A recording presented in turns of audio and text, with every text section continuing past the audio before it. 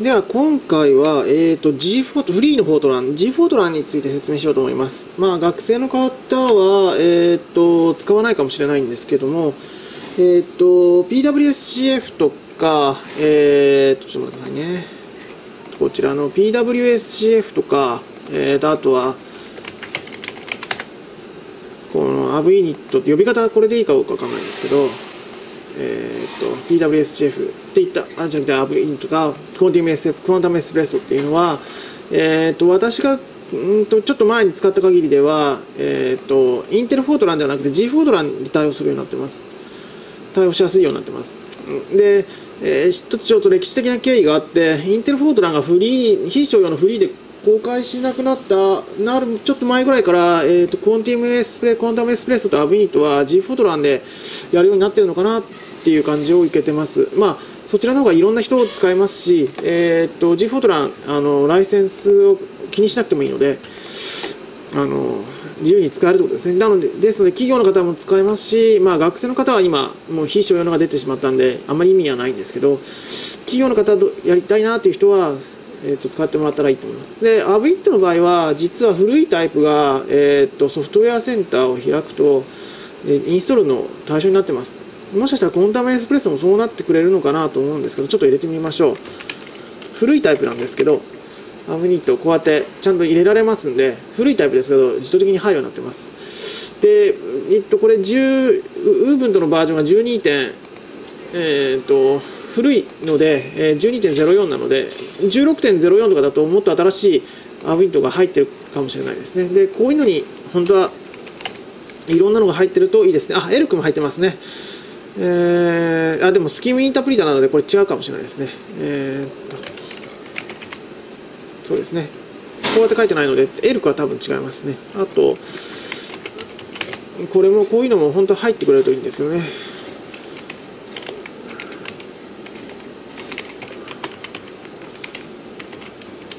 あえこれクォンタムエスプレッソも入ってますねなのでえー、っとクォンタムエスプレッソもこうやって入れてもらえばえー、っとあの入りますんで、え、クォンタムエスプレッソとアーブイントの場合は、ウーブントの場合は自動的にインストールできますんで、煩わしい方はこれでインストールしてください。そうすればもうすぐ使えます。で、最新版をなんとか使いたいっていう方がいらっしゃると思いますんで、その時もちょっと考えようと思いますけども、あそのためにちょっと G フォートラン説明しようと思います。なので、えー、クォンタムエスレプスプレッソとかアブユニットはもう入ってますから、あと他のフリーの第一元計算ソフトももしかしたら入ってるかもしれないですね。まあ、こうやって入れてもらってやるのが一番簡単だなと思います。で、これで使い、いろいろ使っていくっていうのがいいかなと。あとドキュメンテーションも書いてありますからね。で、モアインフォを見ると、いくつか情報が書かれてたりしますので、あの4.321バージョンですね。4.321は十分使えるバージョンですので、えー、っと、4.321でいいと思います。で、こっちも見てみましょう。うん、4.321、なかなか使えるバージョンですね。なので、これでダウンロードしてもらえばいいかなと思います。で、えっと、あと、アビントも、モアインフォ見てみましょう。あ、これは5.3ですね。このバージョンはちょっと5.3でしか入ってないんですけど、えっと、7のバージョンがいいかなと私は思いますんで、えっと、新しい Ubuntu 入れて7.2以降、7以降のものがあれば、それがいいかなと思います。他にも第一元計算あるといいんですけどね。えっと、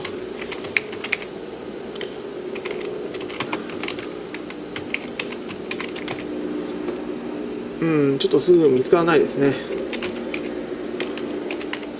えーと、ああ、で、うん、出てこないですね。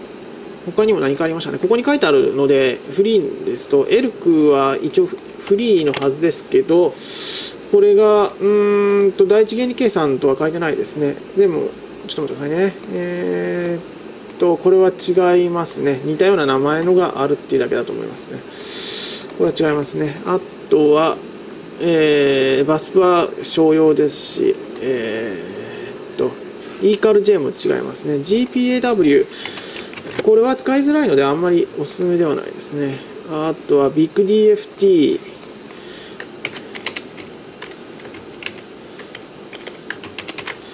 うん、これもダメですね。えー、っと、CPMD。もないですね。うん、カジノも登録しないとダメなので、おそらく、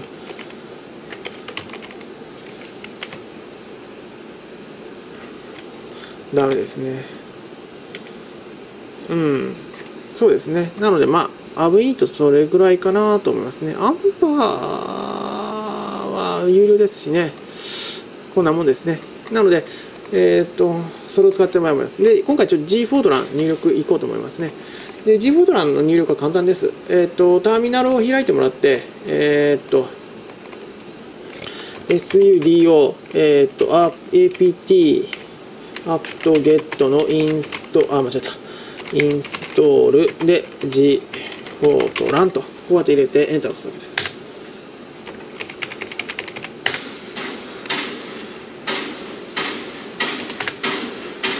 で、Yes です。ずっと Yes です。そうすると G フォートランが入ります。で、G フォートランの V とあ、あ、しまった。で、やるとバージョンが出てきます。G フォートラン4.6.3バージョンですよっていうのは、あとこれ GCC って書いてありますけど、まあ、大体そんなもんですね。4.6.3のバージョンですよってことが書いてあります。で、えっ、と、これも、えっ、と、インテルフォートランと同じようにヘルプ見れます。ああ、しまった。ヘルプは間違えてますね。ちょっといろんなタイプであって、こうやってやると、G フォートランのコマンドのフェルプができます。で、これ、えー、っと、もっとたくさん出てきたと思うんですけどね、うーんと、オプションに対するのが出てきてるはずですけれども、こんだけだったかな、もっとたくさん出てたはずですね。まあ、しょうがないですね。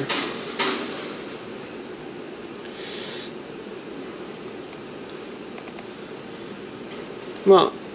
えー、っと、いくつかの、えー、っと、オプションについては、他にも、えー、っと、出てるはずです。昔はこれで出てたんですけどね、ちょっとこれで見てみましょうか。このホームページも古いので、対応してないかもしれませんけど、ここの、えー、っと、コンパイラの設定のところに G フォトランの記述があります。Linux のこれですね。で、えー、っと、あ、こういうふうにしようと書いてありますね。じゃあ、この通りやってみましょう。ここのこれですね。これが使えるかどうかちょっとわかんないですけどね。バージョンが違うと。で、これでやってみましょう。うん。できてればいいんですけどね。うん。あ、出てますね。で、こうやってやれば、えー、っと、オプションについて出てきます。付けられるオプション。で、これがどうなのかっていうのが出てきますんで、これを参考にしながら、えー、どんなオプションをつけていくかっていうのを調べてください。で、えっ、と、いろいろなものを使っていただくということですね。で、えー、っと、この下に、あの、デバッグ用のコンパイルオプションまとめられたホームページが書いてあったり、ここにもいくつか書いてあります。実際に使うにはこういう感じですね。G フォートランて入れて、えー、っと、このハイフンウォールって入れると、こういう警告メッセージ出たりとか、あとはこういうのをつけたりします。で、えー、っと、あの、ハイフ、こういうアブニットとかコンティニュースフェスはいらないんですけど、自分でプログラム作る場合には、こういうのをつけといた方がいいですね。そうすると、えー、っと、うまく動作しないときに何がいかないのかっていうのが分かります。特に不良小数点の異常とか、配列領域外とかよくありますんで、あと初期化してない針とかですね、こういうのはよくありますんで、こういうのを活用していただければと思います。あと他にもどっかに、えー、っと、いくつかいろんなものが書かれてたような、あ、そうですね、コンパイルオプションの比較っていうのが書いてありまして、えー、っと、どういうオプションつければいいのかっていうのが書いてあります。いろんな方がどんなオプションつけたらどんな風に動くのかっていうのがあって、インテルフォートランと G フォートラン、このフリーのやつでどれだけ差が出るのかっていうのを比較してる人もいます。で、うーんと、残念ながらインテルフォートランの方がはる、あの、いくつかいろんな点で有利な部分が多いです。なので、まあ、使えればインテルフォートラン使うのが学生の方、あと教育者の方はいいかなと思いますけども、企業の方はどうしてもこちらを使わざるを得ないかなと思います。G フォートラン、インテルフォートラン買ってもらえるっていうんだったらそれでやってもらえばいいと思いますけど、えー、そんな感じですね。で、えー、っと、あの、このインストール方法以外にも、ここであの G フォートランって入れたら、あの、出てきますんで、これで G フォートラン入れてインストールっていうのでもいいです。あと、他に、えー、っと、OpenMPI っていうのもあります。で、OpenMPI っていうのも、ここのいくつかバチバチバチってやっていけばいいですね。OpenMPI いっぱい出てくるんですけどね。えー、っと、この dev ってついたりとか、あとホームページにいろんな人がインストールの仕方を書いてありますんで、えー、っと、OpenAPI どれをインストールすればいいのかっていうのを調べていただければと思います。で、次回はこのインストール方式を使わないで、えー、っと、OpenPI をコンパイルする方法をちょっと説明したいなと思います。では、以上で終わります。